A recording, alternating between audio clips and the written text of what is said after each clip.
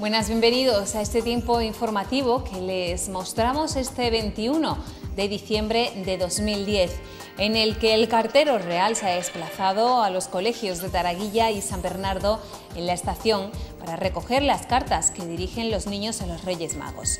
En el caso de la estación, antes de reunirse con los alumnos en el salón de actos del centro de Paz, se pasó por la Escuela Infantil Payasines, anexa al colegio, donde también habló con los más pequeños.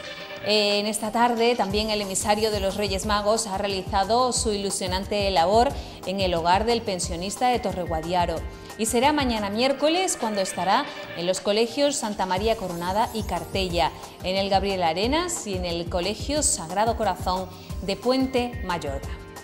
Y seguimos informándoles porque ante las declaraciones de USR y concretamente las de la señora Marina García Peinado, ex concejal de Fiestas y Juventud del Ayuntamiento de San Roque, el Ayuntamiento quiere dejar claro que la edil miente. Primero, que la asignación del Ayuntamiento a Cáritas han sido de 10.000 euros repartidas entre las cuatro Cáritas y que por primera vez el Ayuntamiento hace una aportación tan elevada porque hasta ahora solo se daban 3.000 euros anuales y solo a San Roque. El alcalde también explica que los arcos de iluminación navideña frente a la calle Málaga han sido instalados por empresarios sin coste alguno para el ayuntamiento de la ciudad. Y aclarado esto, también les informamos que el alcalde de San Roque, Fernando Palma, recibió este pasado lunes a Kevin Rodríguez e Ignacio Holgado, dos jugadores del Club Deportivo San Roque, Alevín, que han sido elegidos para la selección andaluza de fútbol sub-12. Palma habló con ellos, con sus padres y los técnicos del club y entregó a los niños sendas medallas conmemorativas del tercer centenario.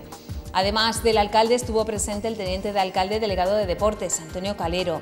Ambos ediles se interesaron por la trayectoria deportiva de los jóvenes jugadores y les animaron a que siguieran progresando sin olvidar la importancia de los estudios y el alcalde de San Roque, Fernando Palma, firmó el pasado lunes el convenio de cooperación para la creación de una escuela infantil municipal en San Roque Casco. El documento ya cuenta con la firma del consejero de Educación de la Junta de Andalucía, Francisco José Álvarez de la Chica, por lo que se ha remitido a Sevilla y empieza ahora el plazo de espera de llegada de la subvención correspondiente para poder sacar a licitación el proyecto que tiene un presupuesto total de 600.000 euros. Así lo señaló en la mañana del lunes el teniente de alcalde delegado de Educación Ramón Ramírez, quien indicó que esta escuela municipal, que se denominará El Almendral, albergará a 82 alumnos de primer ciclo de educación infantil.